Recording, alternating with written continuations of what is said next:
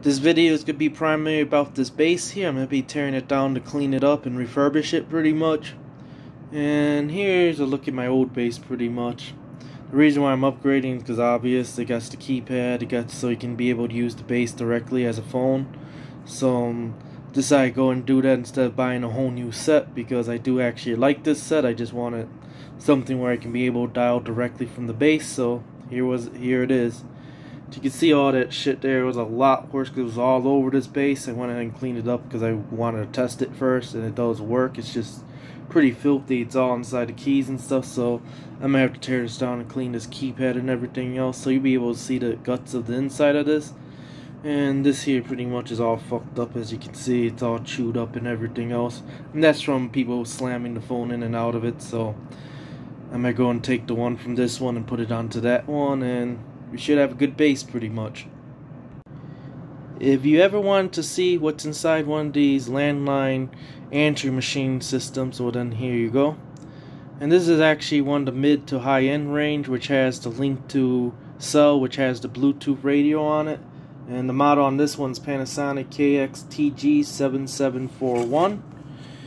And then we'll go and take a closer look at the board here and probably all the business end of it is going to be on the other side of that board but I can tell you the Bluetooth radio is probably on the other side. Because you can see some of the antennas there too. When we lift that board we'll go take a closer look at it. Here's probably where your voicemails are stored and then also for the answer machine part of it. And you can see there there's your speaker. It's a little 8 ohm 0.2 of a watt speaker for your answer machine and speakerphone part this piece here we got to change out. You can see there's two screws, so it looks like it's be easy to change out. And then here's for your dialer and everything else. I also got to take that completely apart to clean the buttons under there. Nice big microphone right there, but I can see that has a rubber gasket there, so it probably ports into the bottom of the other chassis to the other side. But there you go, so I'm going to go and take this all apart and I'll be right back once I get it pretty much in pieces.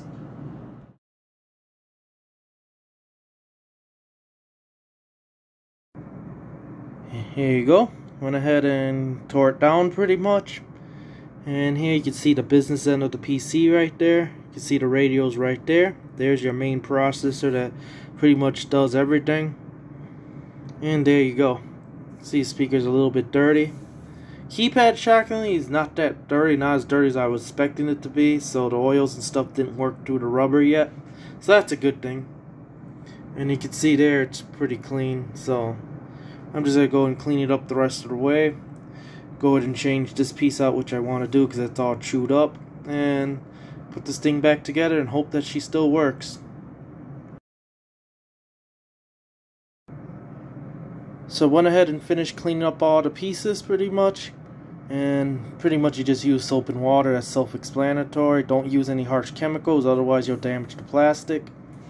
As far as cleaning these carbon contacts, I just go ahead and use 91% alcohol pretty much and lightly clean them up. I just do one or two passes on them. I don't do too much because you don't want to take too much of that carbon out otherwise it won't be as sensitive and so forth. I'll actually one day show you how to rebuild these too. They lose all the carbon and stuff. I actually got the paint you use to paint over that and stuff like that make them good as new but in this case here it doesn't need it. They're in good shape. I'm going to go and put that one in first, the chewed up one right there, and I'll get this all the way back together pretty much. So I went ahead and finished cleaning this base up, and it cleaned up pretty nicely. There wasn't very many scratches, it was just dirty and nasty. As you can see, now it's nice and new pretty much. And even in here, it's nice and cleaned up.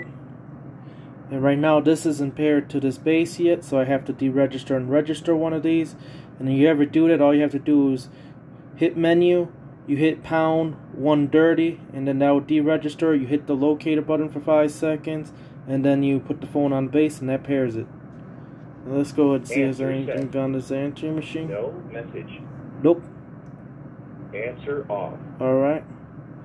And then let me go ahead and um, let's just go and do the speakerphone while we're at it.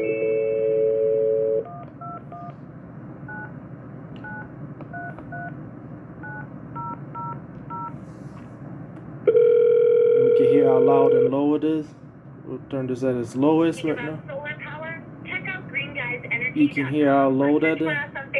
It's mid volume.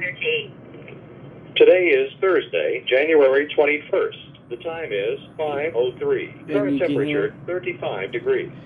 That's pretty much how low and loud it is. It's pretty clear. So now if you want to go ahead and actually register one of these, you hit menu, you hit pound one three zero, and it's gonna tell you hold the locator button for five seconds. So one, two, three, four, five. Okay, you hear a beep. Push OK. Put on the base. And hope that it does find it. Nope, it didn't do it that time, huh? So, do it again. Pound one three zero.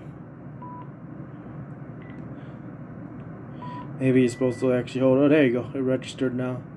And there you go. So now it's paired to the base. So now well, there's no cell link to it, so it's not gonna work. But we should get dial tone. Yep, and we have dial tone, so that works. So the base is pretty much functional. So I'm gonna go and mount it right up there, like where the other one was at. And this will conclude this video pretty much. So it's in its final resting spot. So now all I have to do is just program it, which is gonna take a little while because I gotta clear out everything on this base and stuff like that and put the cell phones back on here and everything else. But it does work, so that'll be the end of this video.